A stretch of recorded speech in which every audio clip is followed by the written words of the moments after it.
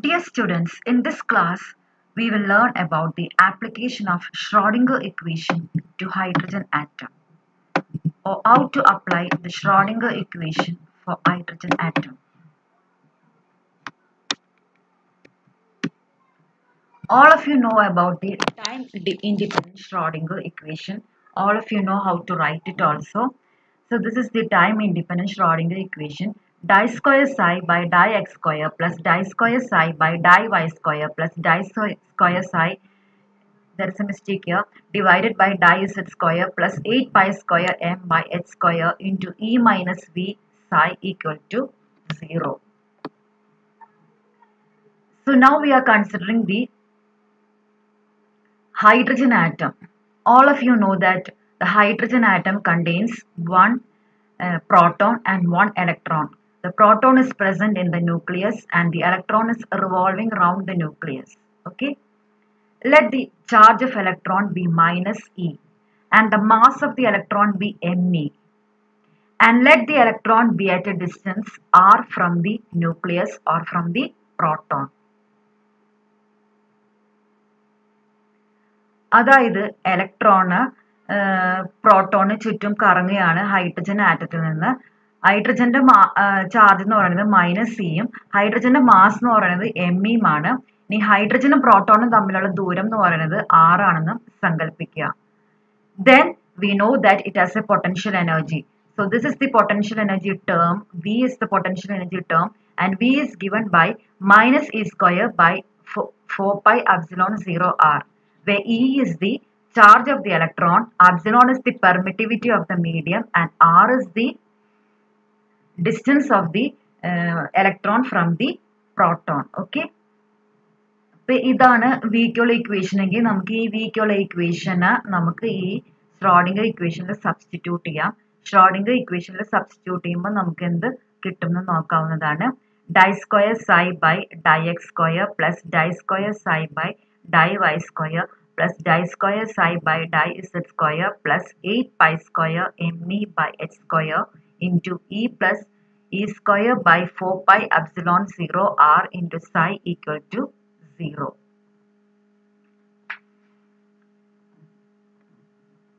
Now we are going to uh, find the relation between uh, the x, y, z coordinates and the distance r. r square is equal to r square is equal to x square plus y square plus z square. The distance r is related to the three coordinates by the equation r square is equal to x square plus y square plus z square. Okay. Now this is the diagram of the hydrogen atom. This is the electron.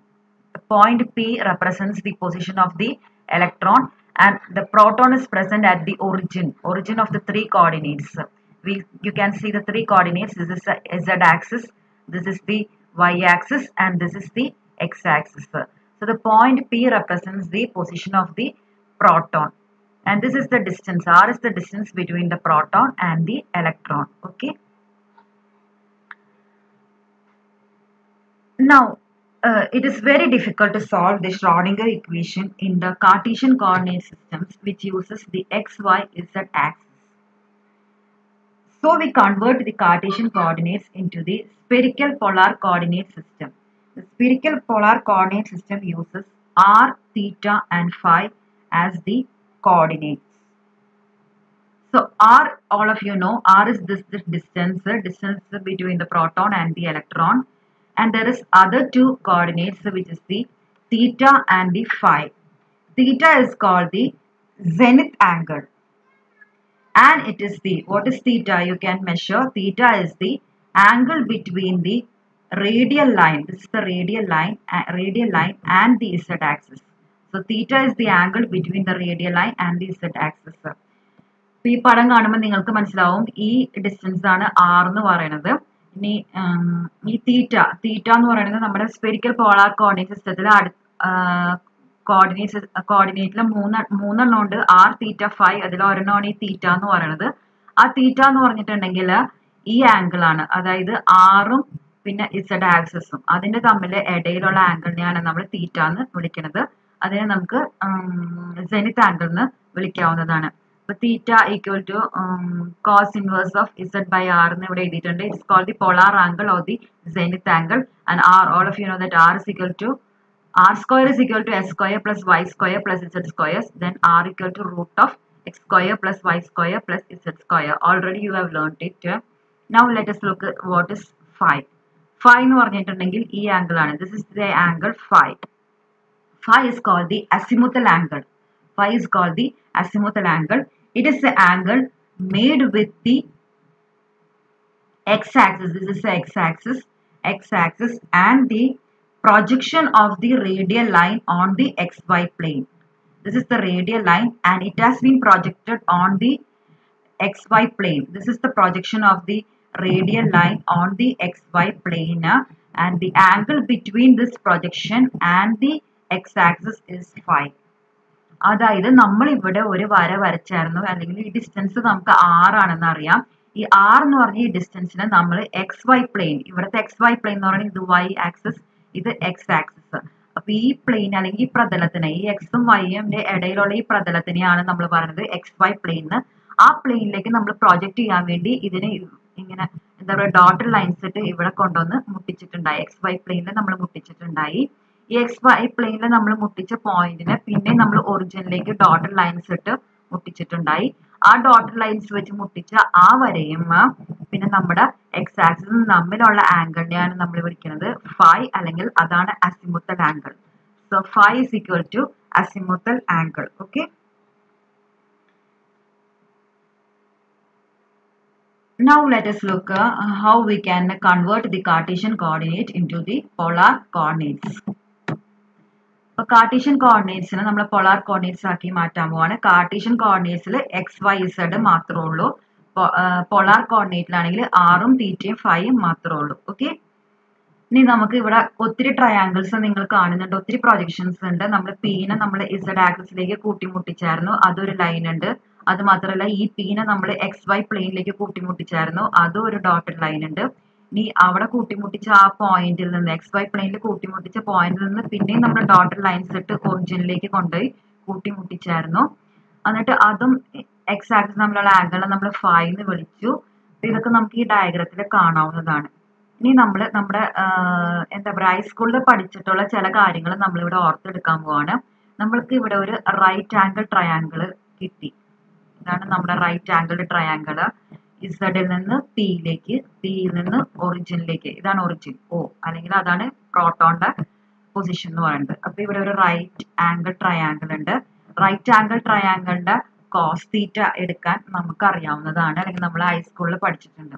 What is cos theta cos theta equal to what adjacent side divided by hypotenuse ഏതൊരു right angle ട്രയാങ്കിളിനും cos theta എന്ന് പറഞ്ഞു കഴിഞ്ഞിട്ടുണ്ടെങ്കിൽ adjacent side divided by hypotenuse ആണ്. അപ്പൊ നമ്മൾ ഇവിടുത്തെ cos theta എന്തായിരിക്കും? Cos theta is equal to adjacent side which is z divided by hypotenuse which is r അതാണ് ഇവിടെ എഴുതിയിരിക്കുന്നത്. Cos theta is equal to z by r so what is z z equal to r cos theta ഇസഡിന്റെ value ഇതാണ് z ഇസഡിനെ നമ്മൾ മാറ്റിയിട്ട് നമുക്ക് പുതിയ polar coordinate സിസ്റ്റത്തിൽ ഇനി എഴുതണമെങ്കിൽ നമുക്ക് ഇങ്ങനെ എഴുതിയാൽ മതി. ഇസഡിന്റെ പകരം എന്ത് ഇട്ടാൽ മതി? ആർ കോസ് തീറ്റ എന്ന് ഇട്ടാൽ മതി. ഇസഡ് നമുക്ക് ആർ കോസ് തീറ്റ എന്ന് കിട്ടി. ഇനി ഈ ലൈൻ ഉണ്ട്. ഈ പിയിൽ നിന്ന് ഇസഡിലേക്കുള്ള ഒരു ലൈൻ ഉണ്ട്. അതെന്തായിരിക്കും? അത് ആർ സൈൻ തീറ്റ ആയിരിക്കും. കാരണം എന്താന്ന് വെച്ചിട്ടുണ്ടെങ്കിൽ നമുക്ക് നോക്കാം. ഇത് ഈ ആംഗിളിന്റെ സൈൻ നമുക്ക് എടുക്കാവുന്നതാണ്. Sine theta what is sine theta ഹൈസ്കൂളിൽ പഠിച്ചിട്ടുണ്ടാവും. Sine theta is equal to what opposite side by hypotenuse opposite side എന്ന് പറയുന്നത് ഈ ലൈനാണ് ഇസഡ് പി എന്ന് പറഞ്ഞ ഈ ലൈനും divided by the hypotenuse which is r അങ്ങനെയാണെങ്കിൽ ഇസഡ് പി എന്തായിരിക്കും z p is equal to what r sine theta okay z equal to r sine z p equal to r sine theta അപ്പൊ ഓർത്ത് വെക്കുക.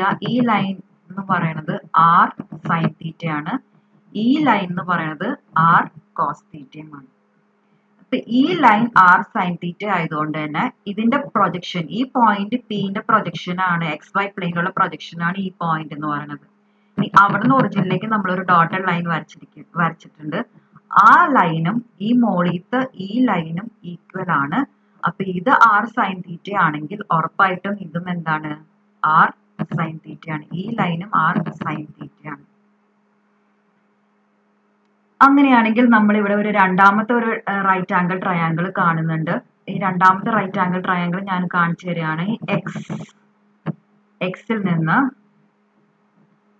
പിയുടെ projection ഈ P എന്ന് പറഞ്ഞ പോയിന്റിനെ ഇവിടെ പ്രൊജക്ട് ചെയ്തിട്ടുണ്ട്. അതാണ് ഈ പോയിന്റ് എന്ന് പറയുന്നത്. അതിലേക്ക് അവിടെ നിന്ന് ഒറിജിനിലേക്ക് ഇതും ഒരു റൈറ്റ് ആംഗിൾ ട്രയാങ്കിൾ ആണ്. ഇതും ഒരു റൈറ്റ് ആംഗിൾ ട്രയാങ്കിൾ ആണ്. ഈ റൈറ്റ് ആംഗിൾ എന്ന് പറയുന്നത് ഇവിടെ വരും. ഇതാ ഇവിടെ ഈ ആംഗിൾ നയന്റി ഡിഗ്രി ആണ്. ഇത് നമുക്കറിയാവുന്നതാണ് ഈ ആംഗിൾ കോസ് അല്ല സോറി ഫൈ ആണ്. ഫൈ അസിമുത്തൽ ആംഗിൾ എന്നാണ് നമ്മൾ ഇതിനെ വിളിക്കുന്നത്. ഈ ഫൈ ഈ ഫൈക്കുള്ള ഇക്വേഷൻ നമുക്കൊന്ന് കണ്ടെത്താൻ നോക്കാം. കോസ് ഫൈ നമുക്ക് എടുക്കാം. കോസ് ഫൈ അപ്പൊ കോസ് ഫൈ ക്കുള്ള ഇക്വേഷൻ എന്ന് പറയുന്നത് എന്തായിരിക്കും? Adjacent side divided by hypotenuse അപ്പൊ അഡ്ജസ്റ്റൻസ് സൈഡ് എന്ന് പറയുന്നത് x adjacent side is x hypotenuse എന്ന് പറയുന്നത് ഇതാണ്. ഈ ലൈനാണ് ഹൈപ്പോട്ടന്യൂസ് എന്ന് പറയുന്നത്. അത് ഓൾറെഡി എന്താണ് നമ്മൾ കണ്ടെത്തിയായിരുന്നു? ആർ സൈൻ തീറ്റയാണ് ഇതെന്താണ്? ആർ സൈൻ തീറ്റ അതുകൊണ്ടാണ് cos phi is equal to x divided by r sine theta എന്ന് എഴുതിയിരിക്കുന്നത്. ഓക്കെ ഇപ്പൊ കോസ് ഫൈക്കുള്ള ഇക്വേഷൻ കിട്ടി. അങ്ങനെയാണെങ്കിൽ what is is x x is equal to r sine theta into cos phi അപ്പൊ നമ്മൾ എക്സിനുള്ള ഇക്വേഷനെ കണ്ടെത്തി കഴിഞ്ഞു r sine theta into cos phi അപ്പൊ ഇസഡ് ആയി കാർട്ടീഷ്യൻ കോർഡിനേറ്റിലെ ഇസഡ് ആയി എക്സ് ആയി ഇനി വൈയും കൂടെ കണ്ടെത്തിയാൽ മതി. വൈ കണ്ടെത്താൻ വേണ്ടി നമ്മൾ അടുത്ത റൈറ്റ് ആംഗിൾ ട്രയാങ്കിളിലേക്ക് പോവാണ്. ഇതാണ് നമ്മുടെ നെക്സ്റ്റ് റൈറ്റ് ആംഗിൾ ട്രയാങ്കിൾ അതായത് ഈ പോയിന്റ് അതായത് പ്രോട്ടോൺ ഇരിക്കുന്ന ഈ പൊസിഷൻ ഒറിജിൻ ഒറിജിൻ എന്നാണ് ആ പോയിന്റ് വിളിക്കുക. ഒറിജിനിൽ നിന്ന് ഈ പിയുടെ ഈ പ്രൊജക്ഷനിലേക്ക് ആ പ്രൊജക്ഷനിൽ നിന്ന് ഇസഡ് ആക്സിസിലേക്ക് സോറി ഇസഡ് ആക്സിസ് അല്ല സോറി വൈ ആക്സിസിലേക്ക് വൈയിൽ നിന്ന് വീണ്ടും ഒറിജിനിലേക്ക് അതാണ് നമ്മളിപ്പോ കൺസിഡർ ചെയ്യാൻ പോണ ട്രയാങ്കിൾ അതായത് ഒന്നും കൂടി ഞാൻ കാണിക്കുകയാണ്. ഇവിടെ നിന്ന് ഈ ഒറിജിനിൽ നിന്ന് ഈ പി എന്ന് പറഞ്ഞ പോയിന്റിന്റെ പ്രൊജക്ഷനിലേക്ക് അവിടെ നിന്ന് വൈ ആക്സിസിൽ പോയി കൂട്ടിമുട്ടുന്നു. അവിടെ നിന്ന് പിന്നെ വീണ്ടും ഒറിജിനിലേക്ക് പോകുന്ന ഒരു ട്രയാങ്കിൾ ആണ് നമ്മളിവിടെ കൺസിഡർ ചെയ്യാൻ പോകുന്നത്. ആ ട്രയാങ്കിളിന്റെ റൈറ്റ് ആംഗിൾ അത് റൈറ്റ് ആംഗിളിലാണ് റൈറ്റ് ആംഗിളിലെ നയന്റി ഡിഗ്രി വരുന്നത് ഇവിടെ ആയിരിക്കും ഈ ആംഗിൾ ആണ് നയന്റി ഡിഗ്രി ആയിട്ട് വരിക.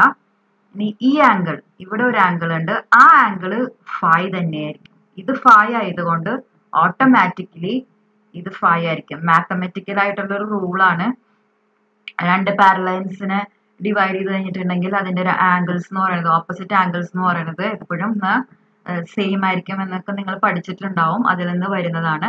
ഇത് ഫൈ ആണെങ്കിൽ ഇതും എന്ത് തന്നെയാണ്? ഫൈ ആണ്. ഓക്കെ അപ്പൊ അങ്ങനെയാണെങ്കിൽ ഇത് ഫൈ ആണെങ്കിൽ നമുക്ക് അതിന്റെ സൈൻ എടുക്കാവുന്നതാണ്. ആംഗിളിന്റെ sine phi what is sine phi ഇവിടെ ഇതാണ് phi what is sine phi sine phi കണ്ടെത്താനുള്ള ഇക്വേഷൻ ഹൈസ്കൂളിൽ പഠിച്ചതാണ് എന്താണ്? Opposite side divided by hypotenuse opposite side okay opposite side എന്ന് പറയുന്നത് ഈ വൈ ആണ്. ഹൈപ്പോട്ടന്യൂസ് എന്ന് പറയുന്നത് ഈ ലൈൻ ആണ്. ഈ ലൈൻ ആർ സൈൻ തീറ്റയാണ് ഇത് ആർ സൈൻ തീറ്റ പഠിച്ചതാണ്. അപ്പൊ sine sine phi equal to y divided by r sine theta so what is y y equal to r sine theta into sine phi അപ്പൊ നമുക്ക് വൈക്കുള്ള ഇക്വേഷനും കിട്ടി. y equal to r sin theta into sin phi. Okay അപ്പൊ ഒരു സംശയമില്ല എന്ന് വിചാരിക്കുന്നു. നമ്മൾ മൂന്ന് റൈറ്റ് ആംഗിൾ ട്രയാങ്കിൾ ഇവിടെ കൺസിഡർ ചെയ്തിട്ട് നമ്മൾ മൂന്ന് ആംഗിൾ എന്താ പറയുക മൂന്ന് ഇക്വേഷൻസ് നമ്മൾ കണ്ടെത്തി. ഒന്ന് ഇസഡിന്റെ ഇക്വേഷൻ ആയിരുന്നു ഒന്ന് എക്സിന്റെ ഇക്വേഷൻ ആയിരുന്നു ഒന്ന് വൈന്റെ ഇക്വേഷൻ ആയിരുന്നു. ഇത് ഒരു ട്രയാങ്കിൾ നമ്മൾ കൺസിഡർ ചെയ്ത ഇത് രണ്ടാമത് കൺസിഡർ ചെയ്ത ട്രയാങ്കിൾ ഇത് മൂന്നാമത് കൺസിഡർ ചെയ്ത ട്രയാങ്കിൾ ഓക്കെ നമ്മുടെ ഇക്വേഷൻസ് ഇങ്ങനെയാണ് വരുന്നത്. Equal to r cos theta, x is equal to r sin theta cos phi, uh, y equal to r sin theta sin phi. Okay ഒരു ഡൗട്ടും ഇല്ല എന്ന് വിചാരിക്കുന്നു. അങ്ങനെയാണെങ്കിൽ നമുക്ക് അടുത്ത ഘട്ടത്തിലേക്ക് നമുക്ക് പോകാ പോകാവുന്നതാണ്. ഇപ്പൊ നമ്മൾ ഈ എന്താ പറയാ മൂന്ന് കോർഡിനേറ്റിനുള്ള ഇക്വേഷൻസ് കിട്ടി. നമ്മളിനി ഈ ഇക്വേഷൻസിനെ നമ്മൾ നമ്മുടെ ഒറിജിനൽ ഷ്രോഡിംഗർ ഇക്വേഷനിലേക്ക് സബ്സ്റ്റിറ്റ്യൂട്ട് ചെയ്യുകയാണ്. ഒറിജിനൽ ഷ്രോഡിംഗർ ഇക്വേഷൻ മറന്നിട്ടുണ്ടാവില്ല. ഇവിടെ എഴുതിയായിരുന്നു. ഇതായിരുന്നു നമ്മുടെ ഒറിജിനൽ ഷ്രോഡിംഗർ ഇക്വേഷൻ ഈ ഷ്രോഡിംഗർ ഇക്വേഷനിലേക്ക് സബ്സ്റ്റിറ്റ്യൂട്ട് ചെയ്യുന്നു. സബ്സ്റ്റിറ്റ്യൂട്ട് ചെയ്ത് കഴിയുമ്പോൾ നമുക്ക് കിട്ടുന്ന ഇക്വേഷൻ ആണ് ഇവിടെ എഴുതിയിരിക്കുന്നത്. One by r square d by d r r square d psi by d r plus one by sine theta d by di theta sin theta di psi by di theta plus 1 by sin square theta di square psi by di phi square plus 8 pi square me by h square into e plus e square by 4 pi epsilon 0 r into psi equal to 0. അപ്പോൾ നമുക്ക് spherical polar coordinates മാത്രമുള്ള ഒരു സ്ട്രോഡിംഗർ equation കിട്ടി നേരത്തെ നമ്മൾ പഠിച്ച കോർഡിനേ Schrodinger ഇക്വേഷന് ഫുള്ളി കാർട്ടീഷ്യൻ കോർഡിനേറ്റ്സ് ആയ എക്സ് വൈ സെഡ് മാത്രമുള്ള ഒരു സ്ട്രോഡിംഗർ ഇക്വേഷൻ ആയിരുന്നു. ഇപ്പൊ നമ്മുടെ സ്ട്രോഡിംഗർ ഇക്വേഷൻ എന്ന് പറയുന്നത് സ്പെരിക്കൽ പോളാർ കോർഡിനേറ്റ് സിസ്റ്റമായ ആറും തീറ്റയും ഫായും മാത്രമുള്ള ഒരു സ്ട്രോഡിംഗർ ഇക്വേഷൻ ആണ് ഈ കാണിച്ചിരിക്കുന്നത്. ഓക്കെ ഇനി ഇതിനെ നമുക്ക് സോൾവ് ചെയ്യണം. ഈ ഒരു ഇക്വേഷനെ നമ്മൾ സോൾവ് ചെയ്തിട്ട് അതിന്റെ സൊല്യൂഷനിൽ നിന്നാണ് നമ്മുടെ പാർട്ടിക്കിളിന്റെ അവസ്ഥ നമ്മൾ മനസ്സിലാക്കുന്നത് അല്ലെങ്കിൽ ഹൈഡ്രജൻ ആറ്റത്തിന്റെ അവസ്ഥ നമ്മൾ മനസ്സിലാക്കുന്നത് അങ്ങനെയാണ്. ഇത് സോൾവ് ചെയ്യാന്ന് പറയുന്നത് വളരെ എന്താ പറയാ ഈസി ആയിട്ടുള്ള ഒരു കാര്യമല്ല. ഇറ്റ്സ് ഡിഫിക്കൾട്ട് അതുകൊണ്ട് ഡിഫിക്കൾട്ട് ആയതുകൊണ്ട് തന്നെ നമ്മൾ ഇതിനെ സെപ്പറേഷൻ ഓഫ് വേരിയബിൾസ് മെത്തേഡാണ് ഉപയോഗിക്കുന്നത്. നമ്മൾ ഈ മെത്തേഡ് മുമ്പ് ഉപയോഗിച്ചത് പാർട്ടിക്കിളിന്റെ ത്രീ ഡയമെൻഷണൽ ബോക്സിലായിരുന്നു നമ്മൾ മൂന്ന് ഇക്വേഷൻസ് ആയിട്ട് അതിനെ തിരിക്കുമ്പോൾ ആ മൂന്ന് ഇക്വേഷനിലും ഓരോ വേരിയബിൾ മാത്രമുള്ള മൂന്ന് ഇക്വേഷൻസ് ആയിട്ട് തിരിച്ചിട്ട് അതിനെ സോൾവ് ചെയ്യാനാണ് ശ്രമിക്കുക. അപ്പൊ അതിന്റെ അത്രയും വലിയൊരു സൊല്യൂഷനിലേക്ക് നമ്മളിവിടെ പോകുന്നില്ല. നമുക്ക് അതിന്റെ ആവശ്യമില്ല ഇതിന്റെ ഡെറിവേഷനും നമ്മുടെ സിലബസിൽ ഇല്ലാത്തത് കൊണ്ട് നമ്മൾ ഇതിന്റെ ഫൈനൽ സൊല്യൂഷനെ മാത്രം നമ്മളിവിടെ കൺസിഡർ ചെയ്യണുള്ളൂ ഈ ഫൈനൽ സൊല്യൂഷനിലേക്ക് നമുക്ക് എത്താൻ വേണ്ടി അല്ലെങ്കിൽ സെപ്പറേഷൻ ഓഫ് വേരിയബിൾസ് മെത്തേഡ് ചെയ്യാൻ വേണ്ടി നമ്മുടെ സൈ സൈ എന്താണെന്ന് നിങ്ങൾ ഓർക്കുണ്ടാവും. അല്ലെങ്കിൽ നിങ്ങൾക്ക് സൈ അറിയാവുന്നതാണ്. Psi is the amplitude wave function ഈ സൈന ആർ തീറ്റ ഫൈ ടേംസിലാണ് നമ്മൾ കൺസിഡർ ചെയ്യണത്. അതിനെ നമ്മൾ മൂന്ന് വേറെ ഫങ്ഷൻസിന്റെ പ്രോഡക്റ്റ് ആയിട്ട് നമ്മൾ എടുക്കാൻ പോവായിരുന്നു. പോവുകയാണ്. ഇങ്ങനെ നമ്മൾ പാർട്ടിക്കിളിനെ ത്രീ ഡയമെൻഷണൽ ബോക്സിനും ചെയ്തിട്ടുണ്ട്. നമ്മൾ അവിടെ എക്സ് ഓഫ് എക്സ് എന്നും വൈ ഓഫ് വൈ എന്നും ഇസഡ് ഓഫ് ഇസഡ് എന്നും ആയിരുന്നു നമ്മൾ ചെയ്തിരുന്നത്. ഇവിടെ നമ്മൾ Saina r of r into theta of theta into phi of phi എന്ന മൂന്ന് വേരിയബിൾസ് ആണ് നമ്മൾ ഉപയോഗിക്കാൻ പോണത്. ആർ ഓഫ് ആർ എന്ന് പറഞ്ഞിട്ടുണ്ടെങ്കിൽ റേഡിയൽ ഫംഗ്ഷൻ ആയിട്ട് വരും. Theta of theta into phi of phi എന്ന് പറഞ്ഞിട്ടുണ്ടെങ്കിൽ ആംഗുലാർ വേവ് ഫംഗ്ഷൻ ആയിട്ടും വരും. ഓക്കെ ഇനി ഇതിന്റെ സൊല്യൂഷൻ ഞാൻ പറഞ്ഞു ഇതിന്റെ സൊല്യൂഷൻ എന്ന് പറയുന്നത് നമ്മൾ ഒരു വേരിയബിൾ മാത്രമുള്ള മൂന്ന് ഇക്വേഷൻസ് ആയിട്ട് ഇതിനെ മാറ്റുമ്പോൾ ആദ്യത്തെ ഇക്വേഷനിൽ ആറ് മാത്രം ഉണ്ടാവുള്ളൂ രണ്ടാമത്തെ ഇക്വേഷനിൽ തീറ്റ മാത്രം ഉണ്ടാവുള്ളൂ മൂന്നാമത്തെ ഇക്വേഷനിൽ ഫൈവ് മാത്രം ഉണ്ടാവുള്ളൂ. ഇങ്ങനെ തന്നെയാണ് നമ്മൾ ത്രീ ഡയമെൻഷണൽ ബോക്സിലും ചെയ്തത്. ഇനി അത് സോൾവ് ചെയ്യുമ്പോൾ നമ്മൾ കണ്ടതാണ് ത്രീ ഡയമെൻഷണൽ ബോക്സിൽ നമ്മൾ സോൾവ് ചെയ്തപ്പോൾ നമുക്ക് പുതിയൊരു കോണ്ടം നമ്പർ കിട്ടി. അതിന്റെ പേര് പ്രിൻസിപ്പൽ കോണ്ടം നമ്പർ എന്നായിരുന്നു ഇനി ഹൈഡ്രജൻ ആറ്റത്തിന്റെ സൊല്യൂഷനിൽ നമ്മൾക്ക് മൂന്ന് കോണ്ടന്റ് നമ്പേഴ്സ് കിട്ടും. മൂന്ന് കോണ്ടന്റ് നമ്പേഴ്സ് എന്ന് പറയുന്നത് എൻ ആദ്യത്തെ കോണ്ടന്റ് നമ്പർ എൻ ആണ്. അതിനെ പ്രിൻസിപ്പൽ കോണ്ടന്റ് നമ്പർ എന്ന് വിളിക്കുമ്പോൾ രണ്ടാമത്തെ കോണ്ടന്റ് നമ്പറിനെ എൽ ആണ്. എല്ലിനെ നമ്മൾ അസിമുത്തൽ കോണ്ടന്റ് നമ്പർ എന്ന് വിളിക്കും. മൂന്നാമത്തെ കോണ്ടന്റ് നമ്പർ എം ആണ്. അതിനെ മാഗ്നറ്റിക് കോണ്ടന്റ് നമ്പർ എന്ന് വിളിക്കും. അതായത് psi r theta of phi equal to r n l of r theta l m of theta phi m of phi അതായത് ആദ്യത്തെ വേരിയബിളിൽ ആദ്യത്തെ ഇക്വേഷനിൽ നിന്ന് നമുക്ക് രണ്ട് കോണ്ടൻ നമ്പേഴ്സ് കിട്ടും. എൻ എൻ എൽ രണ്ടാമത്തെ കോണ്ടൻ സോറി രണ്ടാമത്തെ ഇക്വേഷനിൽ നിന്ന് നമുക്ക് രണ്ട് വേറെ രണ്ട് കോണ്ടൻ നമ്പേഴ്സ് കിട്ടും. എല്ലും എമ്മും മൂന്നാമത്തെ ഇക്വേഷനിൽ നിന്ന് നമുക്ക് ഒരു കോണ്ടൻ നമ്പറും കൂടെ കിട്ടും. അത് എം ആണ്. ഇനി നമുക്ക് ഈ കോണ്ടൻ നമ്പേഴ്സ് നമ്മൾ ഓൾറെഡി പഠിച്ചിട്ടുള്ളതാണ്. നിങ്ങൾക്ക് ഇതിന്റെ വാല്യൂസ് ഒക്കെ നിങ്ങൾക്ക് അറിയാവുന്നതാണെന്ന് എനിക്കറിയാം. എന്നിന്റെ വാല്യൂസ് എന്ന് പറയുന്നത് എന്നിന് അലൗഡ് ആയിട്ടുള്ള വാല്യൂസ് എന്ന് പറയുന്നത് വൺ ടു ത്രീ എക്സെട്ര അങ്ങനെ പോകുന്നു. എല്ലിന് അലൗഡ് ആയിട്ടുള്ള വാല്യൂസ് എന്ന് പറയുന്നത് സീറോ തൊട്ട് എൻ മൈനസ് വൺ വരെയാണ്. ഇനി എമ്മിന് അലൗഡ് ആയിട്ടുള്ള വാല്യൂസ് എന്ന് പറയുന്നത് minus l to plus l ആണ്. Minus l through zero to plus l okay ഇതിന്റെ ഡെറിവേഷൻ ഒന്നും ആവശ്യമില്ലാത്തതുകൊണ്ട് അതിന്റെ ഡിസ്കഷൻ ഒന്നും നമ്മളിവിടെ ചെയ്യുന്നില്ല. നമ്മൾ ഇതിന്റെ ഫൈനൽ റിസൾട്ട് മാത്രം നമ്മൾ ഇതിനെ കൺസിഡർ ചെയ്യാണ്. അപ്പൊ നമ്മൾ മൂന്ന് കോണ്ടന്റ് നമ്പേഴ്സ് കിട്ടി. Okay the principal quantum number the azimuthal quantum number and the magnetic quantum number ഇനി radial function radial wave function എന്ന് പറയുന്നത് ആർ ആർ ആണെന്ന് ഞാൻ പറഞ്ഞു. ആ radial wave function determines the overall size and energy of the wave function wave ഫംഗ്ഷന്റെ സൈസും എനർജിയും തീരുമാനിക്കാൻ പോണത് ഈ റേഡിയൽ വേവ് ഫംഗ്ഷൻ ആണ്. ഈ ആംഗുലർ വേവ് ഫംഗ്ഷൻ എന്ന് പറയുന്നത് product of theta of theta into phi of phi ആണ്. ഈ പ്രൊഡക്റ്റിനെയാണ് നമ്മൾ ആംഗുലർ വേവ് ഫംഗ്ഷൻ എന്ന് പറയുന്നത്. That the shape of the uh, wave function.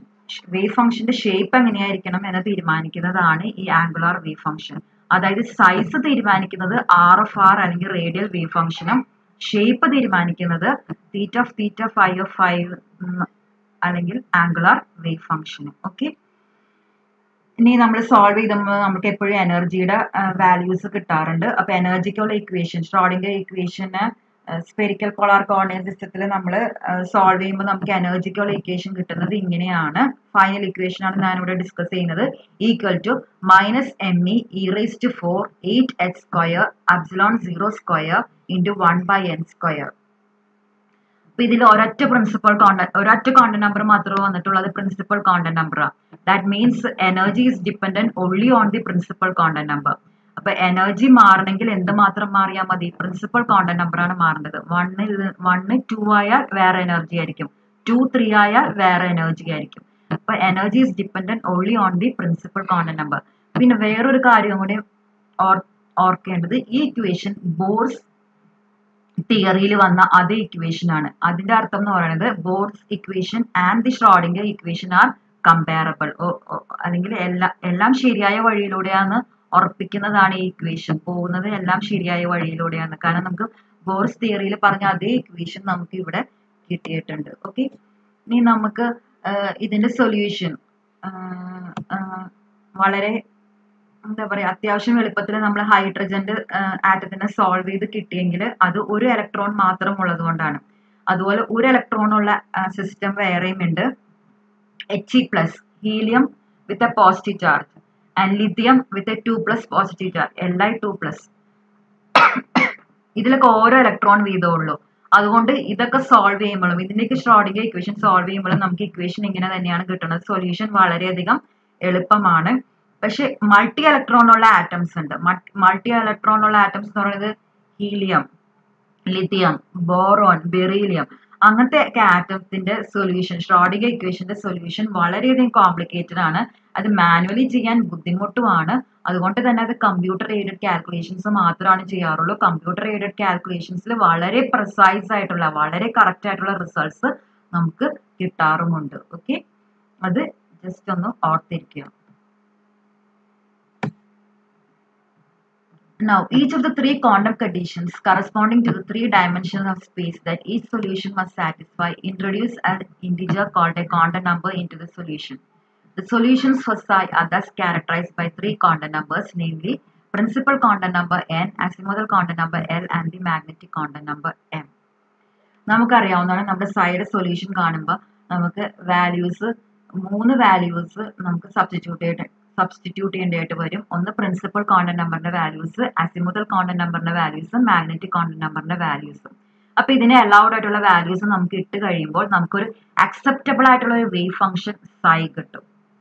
ആ അക്സെപ്റ്റബിൾ ആയിട്ടുള്ള വേവ് ഫംഗ്ഷനെ നമ്മൾ വിളിക്കുന്നതാണ് orbital it is called orbital that means each acceptable wave function psi defined by the allotted values of the quantum numbers N L and M for the electron is referred to as an orbital അതിനെയാണ് നമ്മൾ orbital എന്ന് വിളിക്കുന്നത്. ഇനി ആ ഓർബിറ്റലിൽ ഇലക്ട്രോണിനെ കാണാനുള്ള സാധ്യത എത്രയുണ്ടെന്ന് കണക്കാക്കണമെങ്കിൽ നമ്മൾ ഈ സൈന്റെ സ്ക്വയർ ചെയ്താൽ മതി.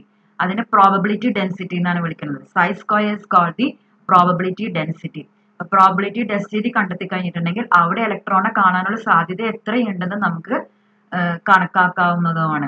അതുകൊണ്ട് തന്നെ ഓർബിറ്റലിന്റെ പുതിയ ഡെഫിനിഷൻ എന്ന് പറയുന്നത് it is a region in space around the nucleus of an atom where there is a maximum probability of finding the electron okay അപ്പൊ നമുക്കറിയാവുന്നതാണ് നമ്മുടെ പഴയ ബോറിന്റെ കൺസെപ്റ്റ് ആയ ഓർബിറ്റ് വളരെയധികം മാറിയിട്ട് നമ്മുടെ പുതിയ വേവ് മെക്കാനിക്കൽ കൺസെപ്റ്റ് ആയ ഓർബിറ്റിലാണ് നമ്മൾ ഇന്ന് കെമിസ്ട്രി പഠിക്കുന്ന എല്ലാ സ്റ്റുഡൻസും ഉപയോഗിക്കുന്നത്. അപ്പൊ ഇത് തമ്മിലുള്ള വ്യത്യാസം അതായത് ക്ലാസിക്കൽ കൺസെപ്റ്റിൽ നിന്ന് വന്ന ഓർബിറ്റും വേവ് മെക്കാനിക്കൽ കൺസെപ്റ്റിൽ നിന്ന് വന്ന ഓർബിറ്റിൽ തമ്മിലുള്ള വ്യത്യാസങ്ങൾ അല്ലെങ്കിൽ ഡിഫറൻസസ് നമുക്കൊന്ന് പഠിക്കാവുന്നതാണ്. അപ്പൊ ഇതൊരു ടേബിളിൽ കൊടുത്തിട്ടുണ്ട്. നമുക്കൊന്ന് ഡിസ്കസ് ചെയ്യാം. An orbit is a well defined circular path around the nucleus in which the electrons in an atom revolve according to Bohr's concept ഇപ്പൊ ബോറിന്റെ കൺസെപ്റ്റിൽ ഓർബിറ്റ് എന്ന് പറഞ്ഞിട്ടുണ്ടെങ്കിൽ ഒരു കൃത്യം വട്ടം വരച്ചു അതിന്റെ ഉള്ളിൽ തന്നെ കൂടെ തന്നെ ഇലക്ട്രോൺ കറങ്ങിക്കൊള്ളണം. നിർബന്ധമാണ്. വേറെ ഒരിടത്തേക്കും പോകാനുള്ള അവകാശമോ അധികാരമോ ഒന്നുമില്ല. But what about orbital Orbital is the three-dimensional region of space around the nucleus where there is a maximum probability of finding the electron. ഇലക്ട്രോണിനെ കാണാൻ സാധ്യതയുള്ള ഏറ്റവും കൂടുതൽ സാധ്യതയുള്ള ഒരു സ്ഥലത്തിനെയാണ് നമ്മൾ ഓർബിറ്റൽ എന്ന് പറയുന്നത്. നൂറ് ശതമാനം പ്രോബിലിറ്റി ഉണ്ടെന്ന് ഒരിക്കലും പറയാൻ പറ്റില്ല. ഒരു തൊണ്ണൂറ് ശതമാനം പ്രോബിലിറ്റി ഉണ്ടെങ്കിൽ നമ്മൾ അതിനെ ഓർബിറ്റൽ എന്ന് വിളിക്കും. അല്ലെങ്കിൽ ആ റീജിയൻ ഓഫ് സ്പേസിൽ ഇലക്ട്രോൺ ഉണ്ടെന്ന് നമ്മൾ വിശ്വസിക്കും. അതാണ് ഓർബിറ്റൽ എന്ന് പറയുന്നത്. ഈ orbit is always a classical mechanical concept okay orbital is a wave mechanical concept